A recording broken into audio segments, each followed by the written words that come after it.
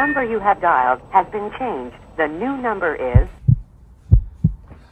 Welcome to Studio Time with Zach. My name is Zachary Rutter, and on the easel today, we have a fun lesson on replicating paintings. So you'll see next to me I have this piece titled Exploding Heart. It was done a while back for a TikTok video that I called 10 Minute Paintings with Zach. So this painting was finished in less than 10 minutes, which I have done a studio time with Zach similar to this, but it was just solid colors. So go back and check that one out as well, and check out the TikTok. So what's fun and interesting about this piece you see is there's no comic books in the background, which is very unique to the work that I like to make. As you know, my typical lessons involve the comic grid system of transferring images onto larger surfaces, but these are meant to be exercises, 10 minute paintings just to kind of keep me working. Uh, I take inspiration from the comic books that I usually use in the background. So you'll see the explosion on the front cover actually resembles the explosion of the painting. So as I was comic booking a different painting, that explosion popped out and inspired me to do this 10 minute painting. Yeah, take inspiration from anywhere. Today we're not going to be doing that. Today we're going to be learning how to replicate images. That's right, as a professional artist, it's very important for you to be able to replicate your images, especially if you want to make a living selling your art. It's oftentimes that when I have multiples of something that somebody likes, they're more inclined to take more than one, you know, gift them off to other friends and family members, or they just like them both together that they want to hang them in their home. So replication is very important, not only to better yourself as an artist, but to better yourself as a salesman, as an artist. So let's get some colors down, down, One very important thing to keep in mind when you're working on the replication of a painting is the process that you put into the original painting. So a way that I'm able to document that is through these time-lapse videos. What I'm able to do is take screenshots from the videos and then reference them as I'm working along on the details of the painting. You can see an example was just up on the screen a moment ago, but uh, I have several different screenshots from throughout the entire process of the original image that I'm calling back to over and over again as I'm replicating it. It allows me to have some sort of guideline or instruction manual for the replication and it's very crucial when you want to get things right.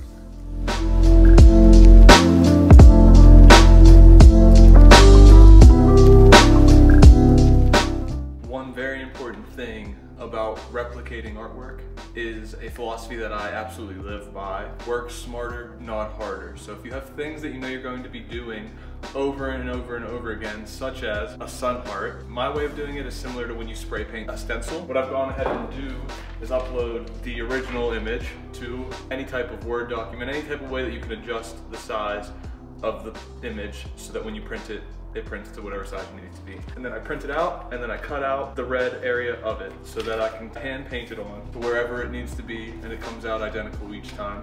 I do the red and then I freehand the black and white outlines. So it's one way that I found that's simple enough and easy enough to do over and over again. And if you guys try it, definitely comment, send some photos. I'd love to see some of the ways that you've utilized this process for some of your own work.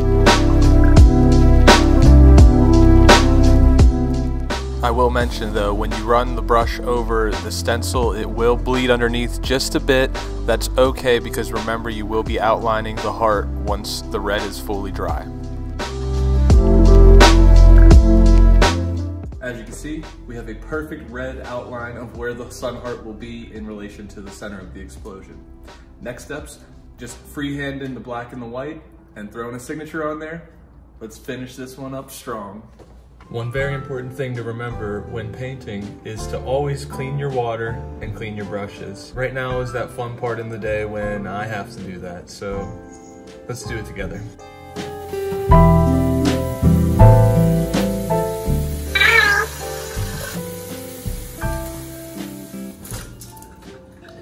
And there you have it. Clean brushes, fresh water, and a cat. Now it's that time again, my favorite part of any painting, the outlining. This is the part of the process when you know everything's starting to look good and come together, and you can just feel the finish line slowly approaching. You just gotta love Mac Miller. Let's just let this music vibe out for a sec.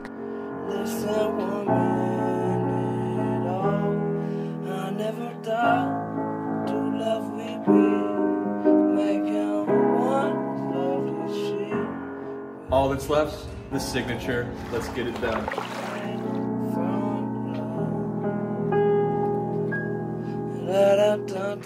You might notice that my signature is just my initials on this painting. I only do a full signature on any painting that features the comic book background, so all other works are signed with just my initials. And there you have it two identical exploding hearts in the books. If you guys enjoyed yourself, if you had fun, if you learned a thing or two, please like, subscribe, and share. And definitely be on the lookout for next Saturday's episode of Studio Time with Zach.